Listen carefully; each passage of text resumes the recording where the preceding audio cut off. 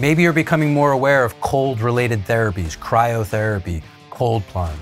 Maybe you've come across sauna or steam and you're interested in how to best apply these temperature related therapies. Well, what I'd like to do is talk about contrast therapy, meaning contrast, let's say cold versus hot as one example. There's other ways to contrast therapies, but how do we look at contrast therapies? How do we look at these temperature regulating therapies? And how do we make sure you're getting the most out of it and you're not pushing yourself too hard?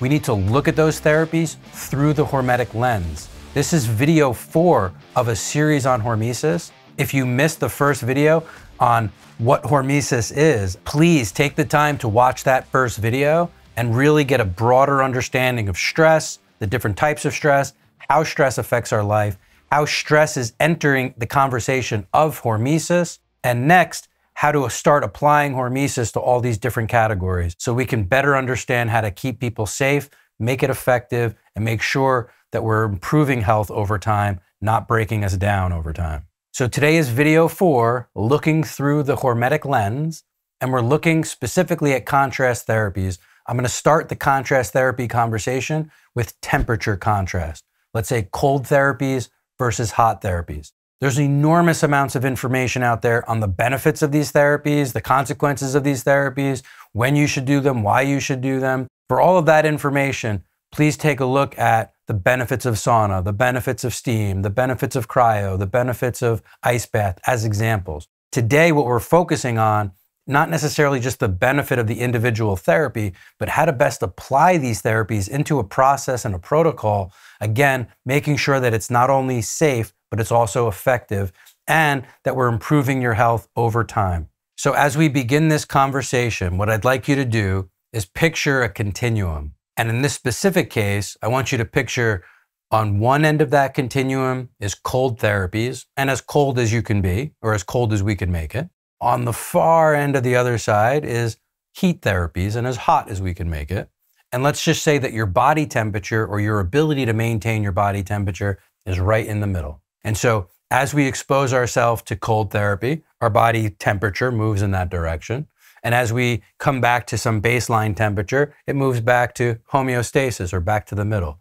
As you're exposed to some sort of heat therapy, your body temperature increases. As you leave that sauna, as an example, and come back to baseline temperature, your body temperature starts to move back to the baseline. That's how normal physiology works. And our autonomic nervous system, very specifically, is what's regulating body temperature, even in the face of these therapies. Now, a lot of the benefits that come from these therapies come from your autonomic nervous system's ability to manage, adapt, and shift blood flow around in order to compensate for this external temperature that's acting on your body. So now the question becomes how do we use cold therapies and how do we use heat therapies to improve our health? The answer is ultimately, it really just depends how strong and resilient you already are which is why this conversation has to go back to the hormesis conversation. Different people are going to be able to handle different amounts of contrast therapies. And just because one or the other may be good for us, it doesn't mean pushing them to the extremes as hard and as fast as we can is going to help us. And in fact, in many cases, we're pushing too hard and too fast or too much of a difference from one side of the temperature regulation to the other side of the temperature regulation without allowing our body to adapt, which is going to push us so far down the hormetic curve, we're going to end up in either where the diminishing return happens to be, or worse yet, down at a place where we're actually doing more damage than good. We certainly don't want to find ourselves in that position. So, how do we determine where you should be? Well, the first question is to me, how well do you tolerate temperature change as it is? In other words, how affected are you already when the temperature regulation is out of your control? In other words, you're in an office building that's air conditioned.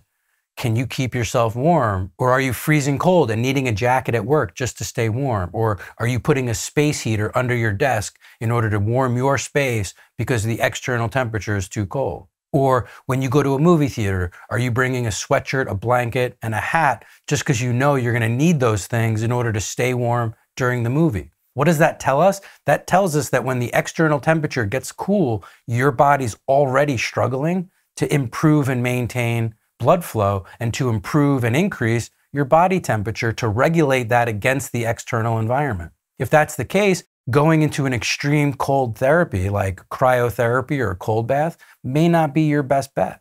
You need to build your cold muscle, if you will, by exposing yourself purposefully and systematically to different amounts and different frequencies of cold in order to allow yourself to be exposed and then recover, be exposed and then recover.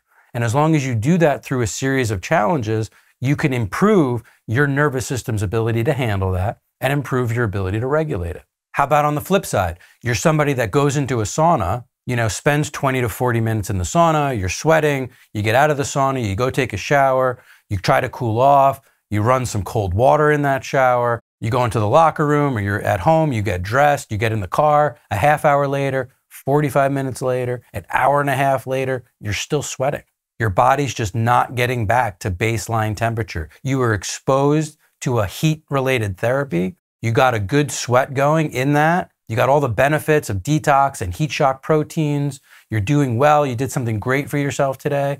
And at the same time, you take a shower, you try to cool off, you're in your car, it's air conditioning, and you're sweating on your way home. You're not able to re regulate your body temperature through the autonomic nervous system after that heat exposure. That tells me that you did either too much or for too long of a period of time, and now you've exceeded your body's ability to come back to baseline. Now, there's a very fine line because if you listen to any of the other hormetic videos, you understand that if we're not pushing the envelope, then we're not getting any response. So I'm not telling you to find that edge and push a little bit beyond it.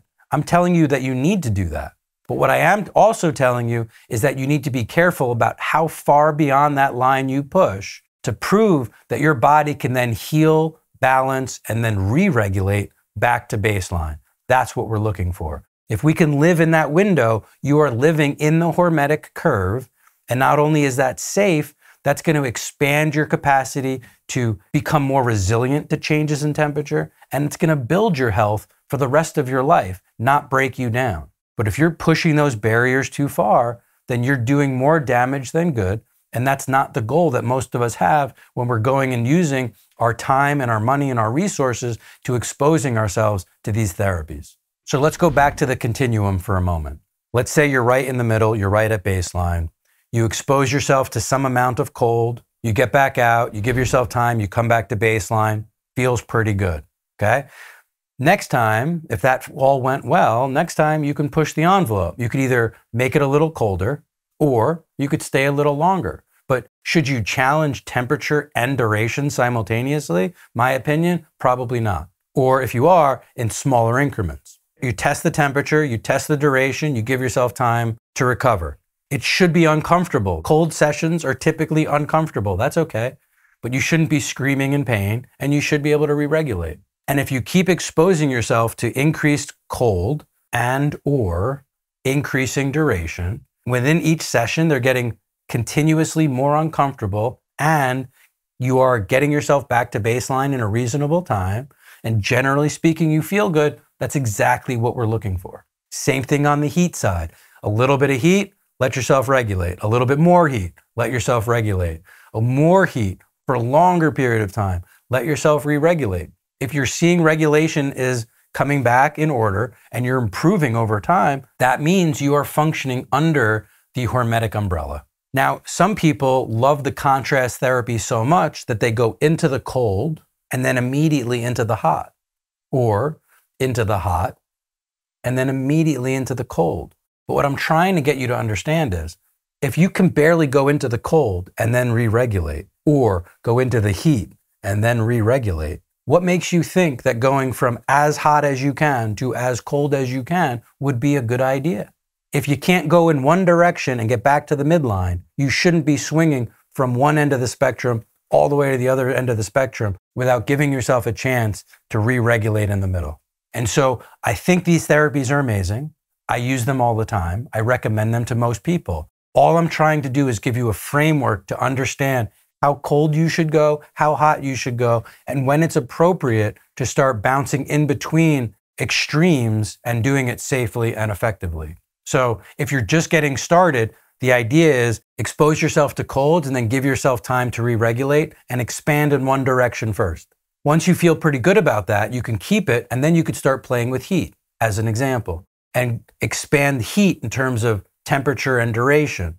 And make sure you can go in both directions individually and you can improve your health, you could feel good, you can get the benefits, and you could re regulate. Now you know you can go in both directions and you're pretty resilient, you're pretty strong. And now you can start ping ponging between the two different heat and cold therapies. But again, you wouldn't start that by going right to the hottest thing you've ever done, all the way to the coldest thing you've ever done. Now you're swinging further in that spectrum. You're skipping the re regulation step, in which case you want to bring those ends in a little bit and start doing a new test in terms of how far you're allowing that pendulum to swing. So, what you want to do is you want to bring in the extremes of temperature a little bit because now you're skipping that middle step. And so, as you swing into heat and swing into cold, those swings are going to be a little bit smaller at first and then they can expand over time.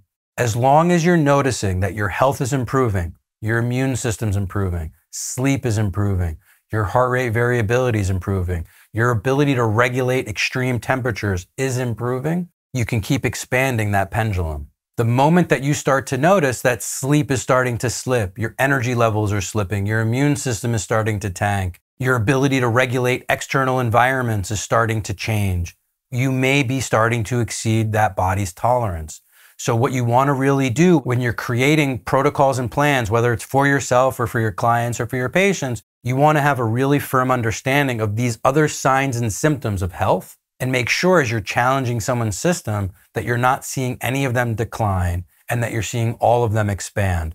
That's how you know you're functioning under the hormetic umbrella and that you're improving somebody's health over the long haul. So I hope that helps you understand a little bit better how to start incorporating temperature regulating therapies into a program and a plan and how to view those therapies through the hormetic lens. We'll see you on the next video where we'll start to talk about different therapies and how to also view those therapies through the same lens. So again, if you haven't watched the previous videos in this series, please, please, please take a look at those videos because they're really building a foundation of understanding and subscribe to our channel to make sure that you're notified for the next upcoming few videos to finish this series out. We'll see you next time.